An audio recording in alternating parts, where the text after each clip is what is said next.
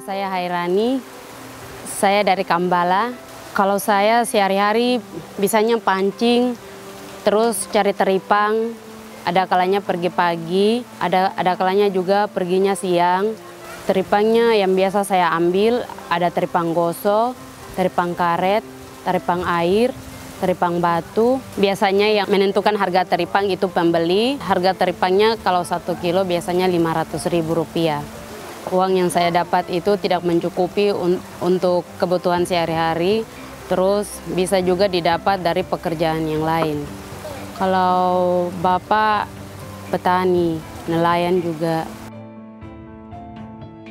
Saya sudah lulus angkatan 2017. Rencananya saya mau lanjut kuliah ke Makassar.